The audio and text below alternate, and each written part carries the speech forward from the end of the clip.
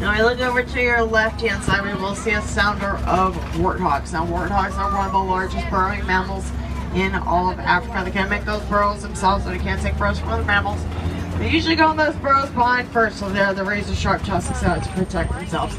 And we look all the way out to the distance to your right hand side, we will see a crash of white rhinos. Now white rhinos do weigh about 4,000 to 5,000 pounds. They're able to charge at about 35 miles per hour, just like black rhinos.